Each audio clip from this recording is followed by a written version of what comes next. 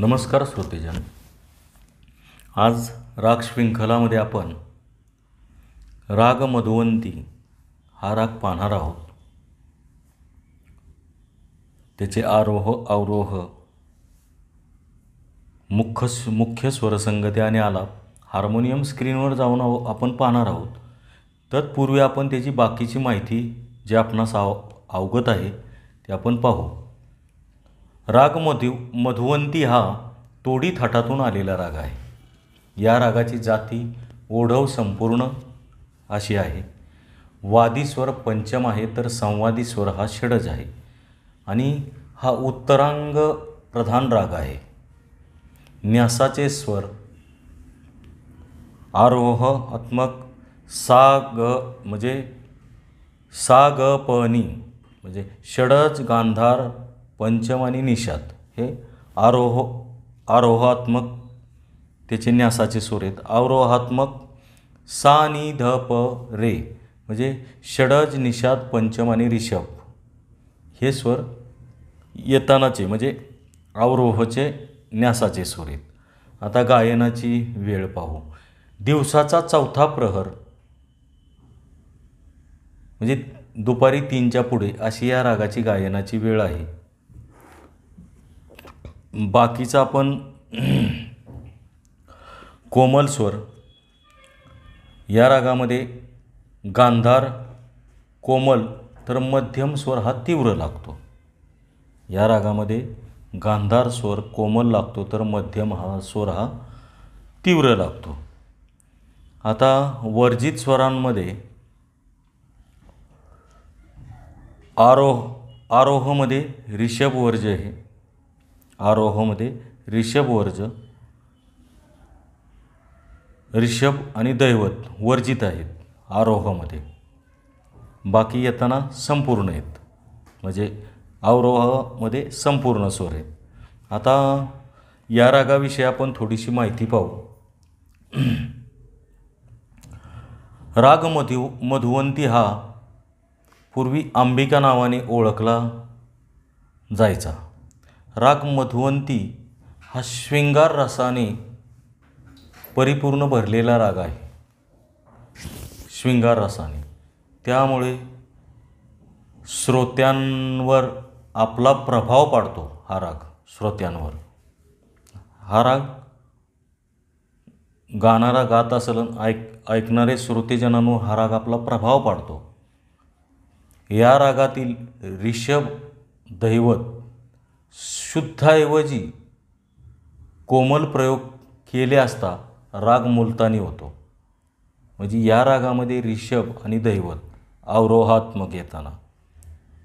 हे शुद्ध आहेत. ते जर कोमल केले तर राग मुलतानी होतो. म्हणजे मुलतानी राग आणि मधुवंती राग अतिशय जवळून जाणारे हे राग आहेत. अशा रीतीने आपण राग मधुवंतीचा ज्या आपल्याकडं माहिती होती त्याचा अभ्यास केलेला आहे.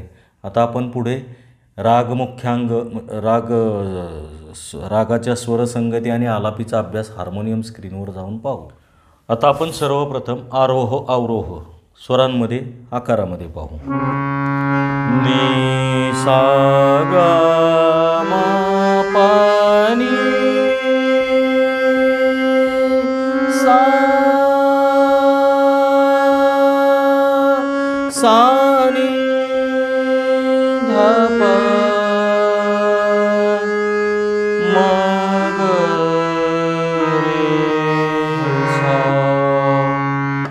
धप हा शब्द. सानी धप. म्हणजे विश्रांतीला हे नाही आहे त्याच्यावर.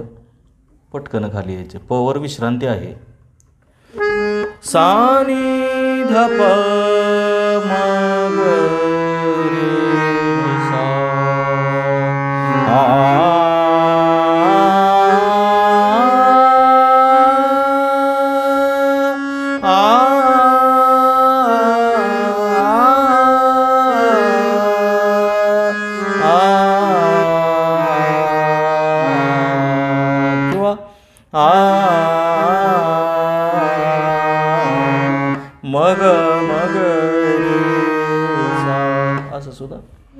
चला आता राग मुख्य अंग पाहू. म्हणजे स्वरसंगती.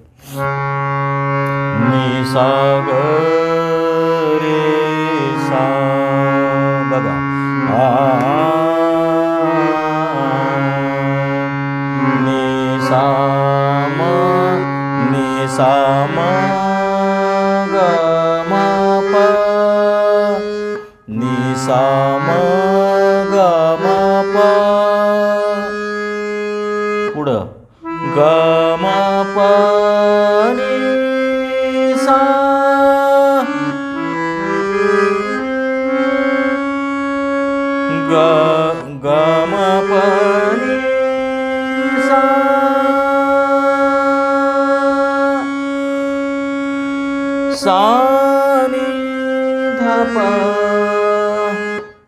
नंतर मग मग।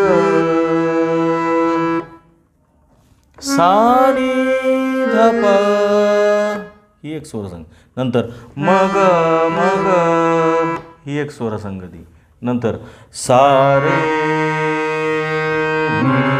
सा किंवा सारे सा किंवा सारे सा. आता पुढं. नि सा ग नि सा ग म प.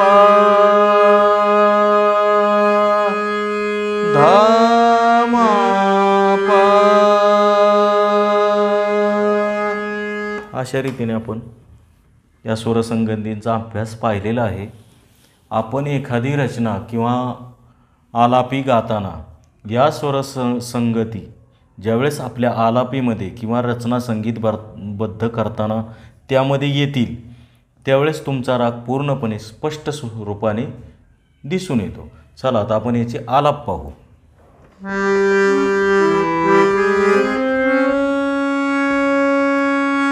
सा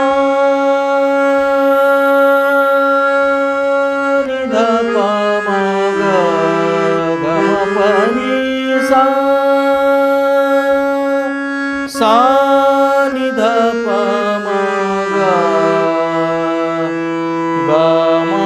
प गम प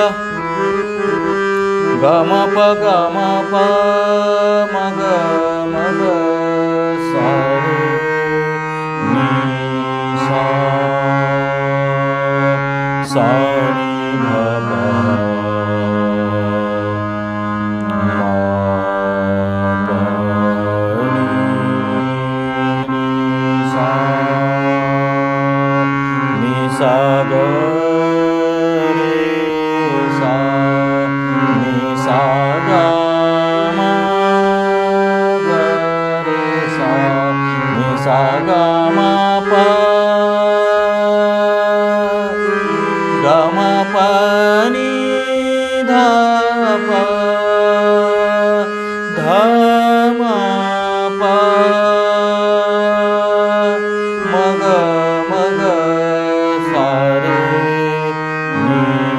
सा